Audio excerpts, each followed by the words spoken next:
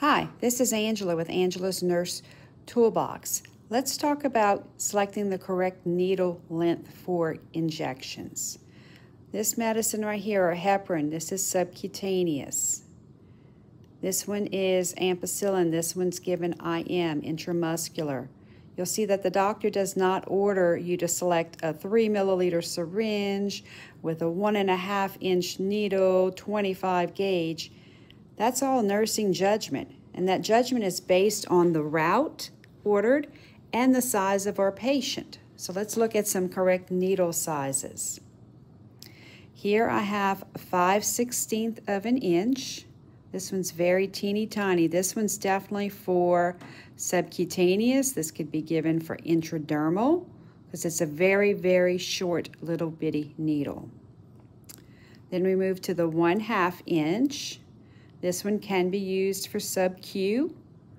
Also, intramuscular, probably on uh, pediatrics or small babies. Then we have our 5 eighths of an inch. This one can be given sub-Q uh, for some patients that may have a lot more adipose tissue.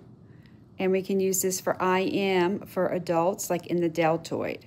So that's the shoulder muscle on your shoulder. Let's go to the next one. We have the one inch one. So this one's a lot longer. This one can be given to somebody with a normal size arm in the deltoid or a smaller person in the ventrogluteal site of the hip for IM. Then we move to our one and a half inch length. So this one's a lot longer. This is one that would be commonly used for the ventrogluteal injections in the hip for an intramuscular. And then here we have our two inch needle size. So this would be for your patients for an IM injection.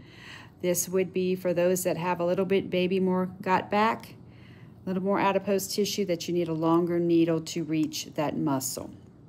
So as you can see, when you would go to the supply room, a lot of the syringes just come without the needles.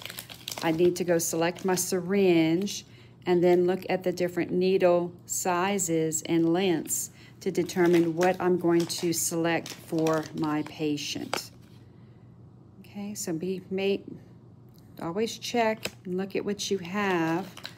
That'll tell you exactly how long the needles are in length. This is a one inch.